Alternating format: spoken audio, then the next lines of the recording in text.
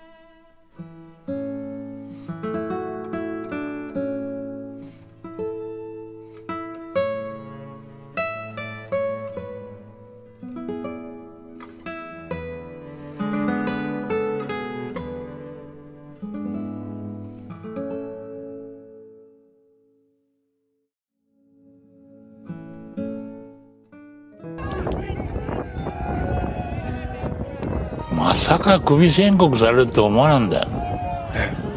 で球団の課長に言われてえ「なんでクビですか?」って。あ「僕なんまだ何にもしてませんけど」って「わしらの目はなプロの目してなえ見りゃ分かるんだと。お前は無理だ」と。いやもう言葉しかないですからそのクビ宣告した課長にえ言いましたよ。僕はもう死にますと。帰りに長い電車取り組みますと本気だったんですよ。それはまあ伝わったんでしょうね。おいバカなこと考えんなと。ああし分かった。もう一年もう一年面倒見てやる。そそれで。ありがとうございますじゃあ諦めなかったわけですよね。やっぱりもうそそういう姿勢ですよ。こういう情熱とかえ。気持ちは必ず相手に伝わるもんですからいい言葉だね。もう人生終わりました。まあそれは夢を持ち続けるっていうことはもうすごい大事なことですよね。人生において。ええ。その夢がなくなったらもう人生終わりですよ。えどどんな夢？今。安らかに眠りたい。だって。もうそういう年だもん。人間時代と年齢には絶対勝てない特にプロ野球はもう年齢で評価しますから。いくら優秀な人でも、えーもう僕は最高齢72歳でクビになったんですけど。72歳まで監督やった人いない。今監督のオファーっていうのはどう捉えますか？喜んでやりますよ。いやいいじゃないですか。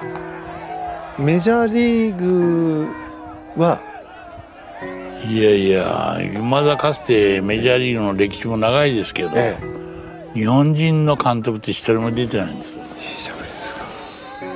それが夢だけど。夢？メジャーリーグの監督したいね。人間って何しに生まれてくるんだろうっていう。そういう素朴にそういう疑問を持ちますよね。死っていうのを考えるとだから自分がそういう観点で人生を振り返った時にね、はい。せめて野球界において自分の存在がプラスに生きたかどうかね。野球があったからこうしてまあ幸せな人生を送らせてもらってね。本当に感謝感謝です。